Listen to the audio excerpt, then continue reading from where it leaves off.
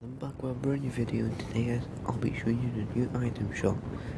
So today we got the Moisty Merman, Ugly Green Guy, and then we got Director's Cut Pickaxe, and then the rest is all crap and rubbish, Rocket Rodeo, Dazzle, Checker, Absolute Zero, Jackknives and Brush Shoulders. So tell me down below what you think of the new skin and new pickaxe and tell me if you're gonna copy oh, or it's a drop. So yeah guys, please make sure to like it, like the video, subscribe to my channel, and I'll see you guys later, because it's adios todos.